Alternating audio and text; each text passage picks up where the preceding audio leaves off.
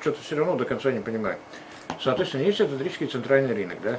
Там, соответственно, есть правление, которые какие-то конкретные живые люди, которые имеют конкретные, соответственно, описания, что он должен и чем заниматься на своей должности. Там совет ринг тоже сейчас еще есть, да? А, конечно. И- Есть совет ринга, то есть, есть целый совет. Целый штат, э, наверняка есть, не маленький. есть там целый, скорее всего, начальник по безопасности, если не ошибаюсь, бывший комитетчик, правильно? Ну, и лично не знаком, но... Ну, если я не ошибаюсь, то целый комитетчик, да, и не последний из комитетчиков, только я помню. Соответственно, есть у нас всякого рода полиции, ну, тем более у мэра Риги в руках есть такой инструментарий, как муниципальная полиция.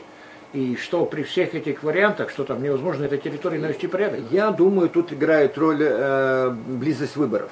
Э, И какой, какие-то, да? и какие-то такие он, действия, кото- которые могут повлечь. Потому что я с тобой со- совершенно согласен, ну давайте, дайте нам просто возможность, а не надо ни совета, ни там правления, ничего, просто полномочия. Ну, 48 часов и там всем все в порядке, и везде все в порядке. Да, ну, разве не так, что ли? Ну, Абсолютно, реально. ну. конечно, все очистится и все, все будет Конечно, хорошо. ну и никаких ни сигаретиков, ни, ни спиртиков, и все это кончается. Но буквально, е- да. если вот э, во время оккупации как-то с этим справлялись всем, ну, да, при свободной это в Латвии сам Бог велел, так сказать.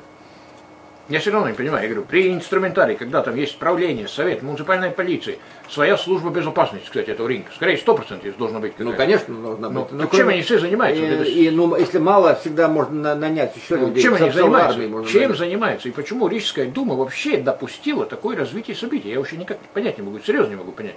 Так, Симон нам показывает, что нам осталось две минуты, поэтому мы должны отсюда чалить уже. Да, ну ситуация такая, как с старым чемоданом, и э, бросить жалко, нести трудно. Так вроде, да? Потому что я говорю, э, теперь здесь не было, я 12 часов разговаривал уже с нашим уважаемым радиослушателем, соответственно, свою передачу, которую я веду. Сейчас смеемся, вот Юра Журавлев подошел попозже, смеемся, да, что мы все время здесь ржали над ремонтом улиц Кришенбарот, да?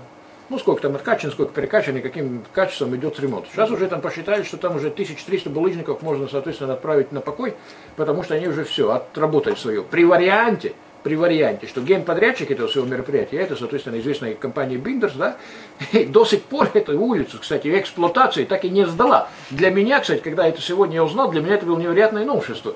Я не понимаю, как можно вообще быть осуществлено движение или транспортный поток по улице, ремонт который до сих пор вообще не сдан эксплуатации. Ты понимаешь это? Ну, здание нельзя эксплуатировать. не, по ну ты вообще это понимаешь, реально? нет? Ну, все у нас равны перед законом, но некоторые у нас равнее. Так даже, да? Симона, мы отчаливаем, да? Все, Симоночка, всего хорошенького, до свидания. До свидания. машем тобой ручкой, знаешь, как вот. Папа. Когда улетал, соответственно, медвежонок. Московская Олимпиада 1980.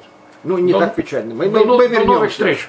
Всего А, хорошего. В студии были Эдвин Путти, Эйнерс Граудинч, ну, режиссер программы Симона Летова. Я с вами не прощаюсь.